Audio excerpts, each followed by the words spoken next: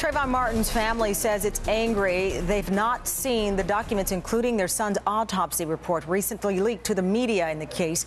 NBC News was able to review Trayvon Martin's autopsy report and George Zimmerman's medical report. Both give specific details about injuries the two received the night of the shooting. NBC national investigative correspondent Michael Isikoff joins me live now from Sanford, Florida. Uh, Michael, I'll let you take it away. You know that there are perhaps more documents could be released here soon, but the Trayvon Martin's family and the attorneys take issue with how this is going down.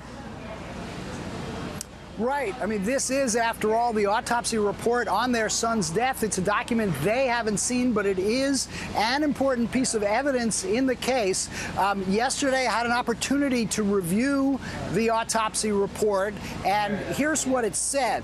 Um, uh, Trayvon Martin was killed by a gunshot wound to the chest at intermediate range, 17 inches below the head. That's where the wound was. The bullet went through lungs, creating perforations, and there was a small abrasion on his ring finger, just uh, slightly below the knuckle of the left hand, uh, left ring finger uh, on his hand. And that may be uh, the most important piece of this because it does, it can be suggested and will be argued that that's consistent with the injuries that were in that medical report on George Zimmerman, which showed that he had uh, prepared by a family doctor the day after the incident, which showed he had a likely broken nose, swollen lips, black eyes, and lacerations on the back of the head.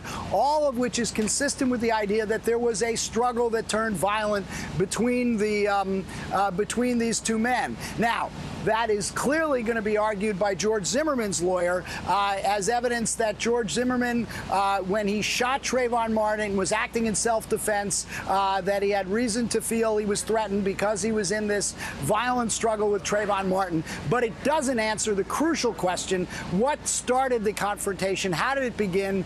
Uh, how did it escalate? And that's central to the, um, uh, to the state's case and central to resolving what actually happened that night. All right, Michael. Isikoff in Sanford, Florida. I know you're going to keep an eye on all of it and report what's happening down there. Thank you so much, Michael.